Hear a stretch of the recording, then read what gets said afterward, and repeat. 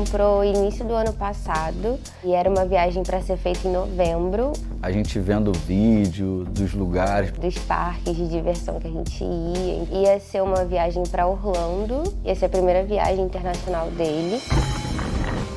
Que era um sonho das crianças, né? Então eu comprei Gramado, uma cidade muito linda que eu queria voltar porque eu fui com eles quando eles eram muito pequenos. São quatro diárias a partir de 740 reais. Você pode parcelar no cartão de crédito em até 12 vezes sem juros. O URB, antigo hotel urbano, ficou popular pelas ofertas incríveis, condições de pagamento espetaculares, sonhos ao alcance das mãos. Será? Compra feita, é hora de planejar cada detalhe, pensar na mala e viver aquela expectativa boa até chegar o dia da tão esperada viagem. Mas para dezenas de milhares de consumidores, ao invés de cartão de embarque, só sobrou mesmo o boleto para pagar. Não teve viagem, nem aeroporto, nem mala, nada. As férias dos sonhos ficaram só no desejo. Marcamos a primeira, eles pediram para desmarcar, marcamos a segunda e daí começou o embrólio. Eles estavam com uma demanda muito grande, no hotel não tinha vaga também para o voo. E nisso eles iam é, enrolando, enrolando cada vez mais. E, e os sonhos das crianças, o nosso, ia ficando cada vez mais distante. E, infelizmente, até hoje nada se resolveu e a gente não sabe a quem recorrer, como. O papel da justiça é fazer com que eles cumpram os pacotes, né? Se está vendendo, se está oferecendo um produto né, e tem que, esse serviço tem que ser cumprido, ou devolvam o dinheiro. É o que diz a lei no Código de Defesa do Consumidor, mas não é o que está acontecendo. A gente tentou entrar na justiça e pedir para que a viagem acontecesse. O juiz aprovou e aí eles não cumpriram o prazo até que o juiz autorizou um bloqueio judicial e desde então, isso foi em novembro. Então, peraí, novembro, dezembro, janeiro, fevereiro, março, abril, maio, junho, julho. Então tem nove meses que Sim. o juiz já deu o parecer favorável Sim. e nada. Nada. E a gente não consegue achar dinheiro em nenhuma das contas. Isso é um indicativo que o dinheiro efetivamente está acabando. Esse advogado tem mais de 470 processos contra o URB, mas desistiu de pegar novos clientes contra a empresa nem liminares, nem sentenças, execuções, nada vem sendo cumprido pela empresa. Eles simplesmente não pagam. Então o consumidor fica sem saída? Infelizmente, sim. Até a justiça parece estar desistindo dos consumidores lesados. Em junho, o segundo juizado especial civil da Barra da Tijuca, aqui no Rio de Janeiro, mandou encerrar mais de 400 processos contra o URB, já que a empresa não pagava as condenações. Os processos representavam quase 4 milhões de reais em indenizações. O URB responde hoje a mais de 100 mil ações na justiça. Só no Rio são mais de 12 mil. A empresa fica nesse prédio de escritórios de luxo. Ocupam quatro andares. Tem funcionários, advogados, está tudo funcionando. E eles seguem vendendo pacotes na internet.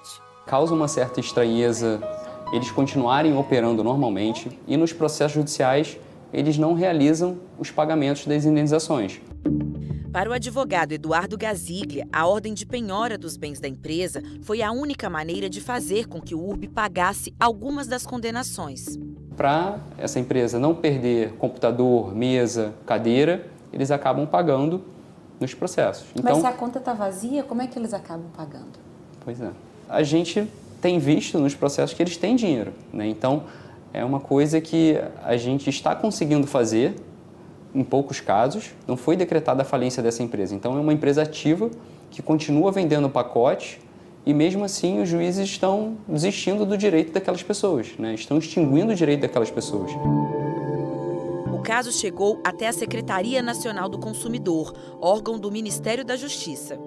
É um caso sem precedentes na história da defesa do consumidor no Brasil. Ele não tem uma solução que seja uma solução rápida e por isso temos negociado com a empresa, a partir desse termo de ajustamento de conduta, uma ferramenta em que os consumidores possam, então, se cadastrar, fazer as suas escolhas de forma de reembolso, de remarcação, seja reembolso pelo um voucher ou seja uh, pelo próprio retorno econômico uh, financeiro. Todo mundo vai receber? Não posso te afirmar que todos vão receber, mas sim que todos tem que ter a satisfação da sua demanda. Em maio, a Senacom proibiu que o URB continuasse vendendo pacotes de datas a descoberto, ou seja, sem data fixa, daqueles que você escolhe o destino, mas só depois tenta marcar uma data lá para frente. Mas eles continuaram vendendo outros tipos de viagens.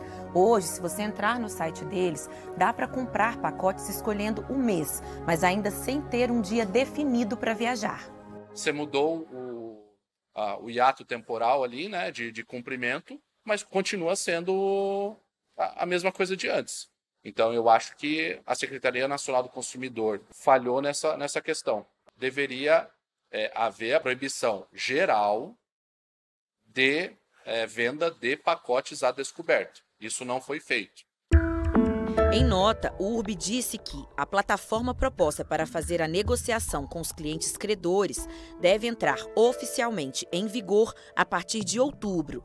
Disse ainda que não está sem recursos e que nenhum bem chegou a ser expropriado para cumprir decisões judiciais e que trabalha para normalizar as operações, mas não respondeu porque descumpre decisões judiciais e não paga as indenizações. Não é possível que uma empresa que, que lesa as pessoas continue fazendo o seu trabalho naturalmente lesando outras. É uma empresa que destrói o sonho das pessoas.